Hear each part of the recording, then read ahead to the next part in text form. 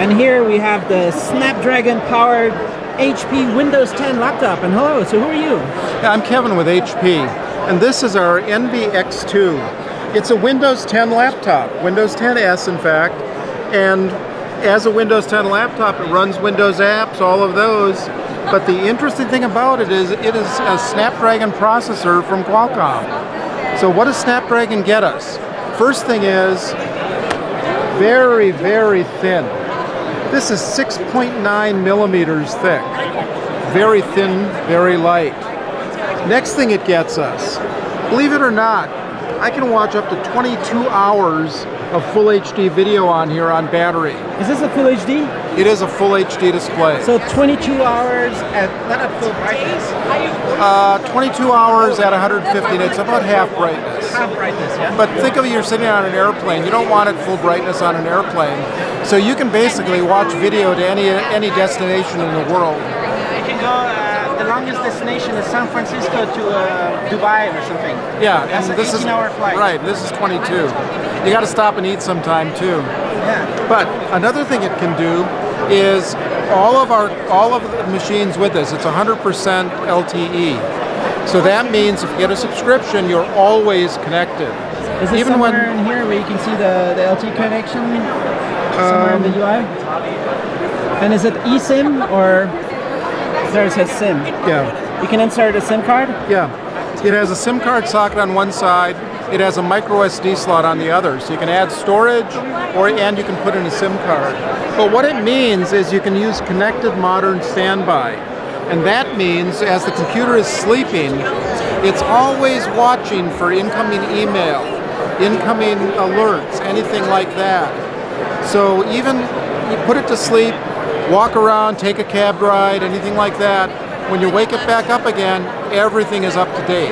If you so if you close it down like this, Yeah. um, and you hold it like this, do you see any uh, LED uh, no, you notifications don't. You or won't anything see like any. that? You won't see any LEDs. So you just open it up and it will be right there. Open it up, and it's ready to go. If you had your email app open, receiving email, it would have up-to-date email on it. Is a full size nice keyboard? It's a full-size keyboard, 1.3 millimeters of travel, so very, very typable. You can use it either at the upper angle, or you can pull it down and use it flat if you prefer it that way. And it's uh, uh what's it called? A very nice big mouse pad. It's a very large trackpad, yeah. Um, the stand is a folding stand. So when it's closed, I fold it up and it protects the back of your machine. When I open it, I fold it down, and I can use it at quite a few different angles. So the stand makes it quite flexible to use at the angle you want. We've got Bang & Olufsen tuned audio, and the speakers are on either side of the display, so you get a nice stereo effect. And it's got a 5 megapixel camera facing you, and, along with an IR camera, so you can use it with Windows Hello. But if you're the one, one of the people who likes to go out with your tablet and take photographs, it's got a 13 megapixel camera on the back. So this one has a lot more resolution. Great for taking pictures when you're walking around with it. 22 hour battery life. Um, can you install any X application? Any Uh, Windows you app? can, you can install any any uh, application from the Windows Store under Windows 10s. If you have to install other applications, you can very easily switch from Windows 10s to Windows 10 Pro. And in Windows 10 Pro, you can run any Windows application. So actually, it's not only S, it's Pro too. Yeah, if you switch to Pro, you can switch to Pro for free. And uh, uh, you switch to Pro for free. Uh, what's it called? Uh, you can install any application that's 32-bit Yes. from the Intel world of Yeah. Windows. Yeah. And it's just going to emulate. What's the Yeah. performance? The performance will be dropped a little bit on some applications because it has to emulate the Intel chipset.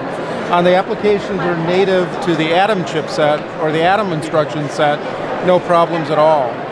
Um, I actually installed Office and tried my, my work email on here at one point, It's and I was quite VR, happy right? with it. Optimized for the Snapdragon 830, Yeah, 835. yeah. All right. So how soon is it available? It's And going to be the price? available this spring, and we don't have pricing yet. All right. Uh, So right here, and this is so Snapdragon version, and then you have a, slightly bigger Intel version right here. Yeah. We've got a version that we introduced at the, at the, at the CES show. This one is using the Intel Y series processors. So the four and a half watt processor, we actually bumped up the power to about six watts. Get a little bit extra performance out of it. This one is slightly thicker. It's 7.9 millimeters. Yeah. So 6.9 versus 7.9. The Intel processor uses a little bit more power, but on this one we get nine up to 19 hours of video playback. So still, you'll get to Dubai from San Francisco. Uh, how about the LTE? This one has LTE as an option. The Qualcomm version has 100% LTE. This one it's optional. So but we do have the micro SD slot. Good chance the Intel one will be a little bit more expensive, right? It's possible. We don't have we don't have pricing on this yet either. And the spring, that means um, it could be two, three months from now that this one is available. Yeah, they- they should both be available about the same time later this spring. Another thing about them is they have um, Gorilla Glass on the screens. They're, they're well protected from scratches and nicks and things like that. And something else I'd like to point out is that when you close up the case, both sides are protected. Your screen side as well as the back side, so you're not going to get scratches and nicks from dropping it in your backpack. They both support pens. Is it Wacom? This is this is a, a Windows digitizer, so it's not Wacom. Okay. Another kind of digitizer, and you can take nice notes and some apps. Yeah, you can take nice notes. And it even recognizes from a distance from the screen. Yeah, it's got a little bit of hover distance, and you can use the buttons to do things like a right click versus left click, Right. and of course store your store it in the pen loop that's on the keyboard. Cool.